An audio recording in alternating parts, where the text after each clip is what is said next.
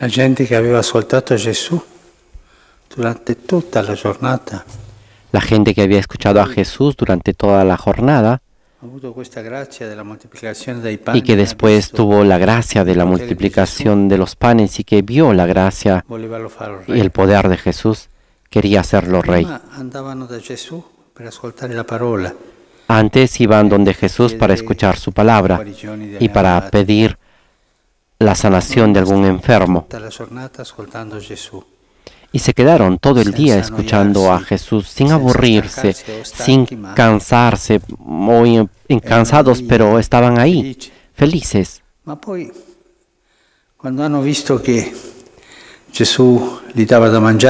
Pero después, cuando vieron que Jesús le daba de comer, una "Ma cosa que no esperaban, governante per noi". Entonces dijeron, este será un hombre, una cosa buena para nosotros. Seguramente será capaz de librarnos del poder de los romanos y de llevar el país adelante. Y se entusiasmaron bastante para hacerlo rey. La loro è cambiata. Su intención de ellos cambió. Vieron esto y pensaron, bien, una persona que hace estos milagros, que da de comer al pueblo, puede ser un buen gobernante.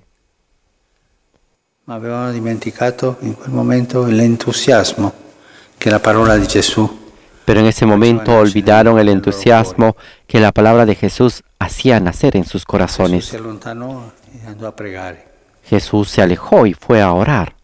Si vede che quella gente è rimasta lì, Se ve, que la, se ve que la gente se quedó ahí. il giorno dopo cercavano Gesù perché deve essere qui, dicevano. Y al día siguiente buscaban a Jesús porque decían, debe estar aquí. Porque Vieron que no había subido en la barca con los demás. Estaba ahí un barco y ahí se quedó. Ma non sapevano che Gesù aveva raggiunto gli altri camminando sulle acque. Pero no sabían que Jesús los había alcanzado a los demás caminando sobre las aguas. Por eso se decidieron ir a la otra orilla del mar, del lago de Tiberiades, para buscar a Jesús. Y cuando lo vieron, la primera palabra que le dicen, Rabì, quando sei venuto qua?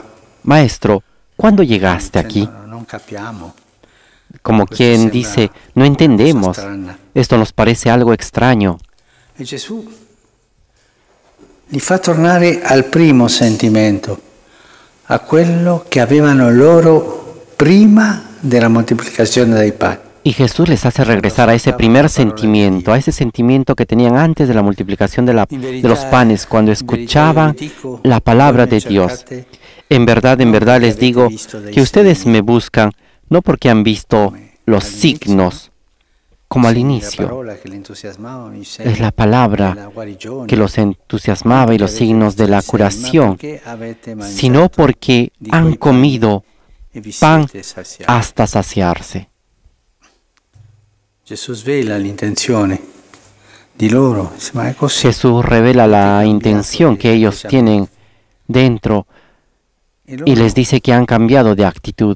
Y ellos, en cambio, no, en vez de justificarse, no, Señor, hemos, han sido humildes. Gesù continua, datevi da fare non per il cibo che non dura, Y Jesús continúa diciendo. Trabajen no por el alimento perecedero, sino por el alimento que dura hasta la vida eterna, el que les dará el Hijo del Hombre. Porque es, es Él a quien Dios Padre ha dado y "Che marcado con su sello. compiere per fare le opere di Dio?" Ellos se preguntan entonces, ¿qué debemos hacer para realizar las obras de Dios? Questo è un caso Gesù corregge l'atteggiamento delle persone. Este es un caso en el cual Jesús corrige la actitud de la gente, de las personas, del pueblo, porque se había alejado del primer momento, de la primera consolación espiritual.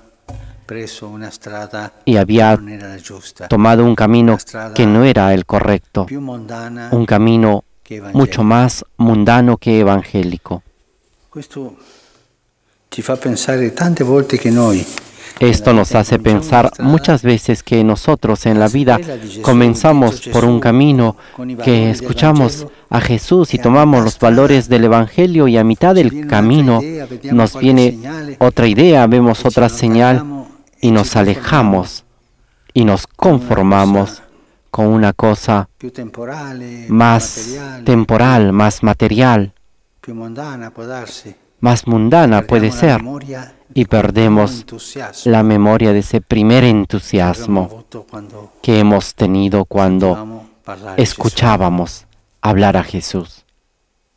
Signore, fa tornare sempre al primo incontro. El Señor nos hace regresar siempre a ese primer encuentro, a ese primer momento en el cual Él nos ha visto, nos ha hablado, nos ha hecho nacer dentro de nosotros ese deseo de seguirlo. Esta es una gracia que tenemos que pedir al Señor. Y en la vida tendremos siempre esa tentación de alejarnos porque vemos otra cosa que puede ir bien. Esa idea es buena. y así nos alejamos de este camino. Pidamos esa gracia de regresar siempre a ese primer momento. No olvidar, no olvidar mi historia. Cuando Jesús me ha visto con amor y me ha dicho, este es tu camino.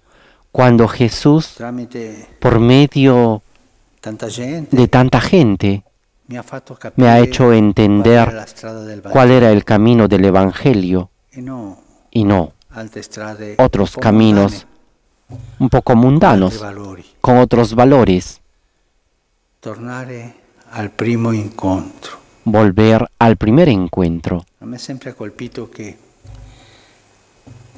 le cose, tra le cose que dice Jesús. A mí siempre me ha impresionado que entre las cosas que ha dicho Jesús, una de las cosas en la mañana de la resurrección es, vayan donde mis discípulos y díganle que vayan a Galilea. Allí me encontrarán porque Galilea era el lugar del primer encuentro. Había, allí habían encontrado a Jesús. Cada uno de nosotros tiene ese primer encuentro, ese primer momento en el cual Jesús se ha acercado y nos ha dicho, sígueme.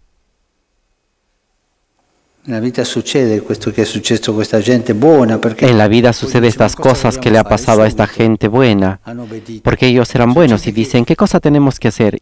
Y enseguida obedecieron pero también nos alejamos y buscamos otros valores, otras hermenéuticas, otras cosas, y perdemos la frescura de esa primera llamada. El autor de la carta a los hebreos nos recuerda también esto. Recuerden los primeros días, la memoria, la memoria del primer encuentro, la, la memoria de mi Galilea, cuando fui llamado por amor, cuando me dijo el Señor, sígueme.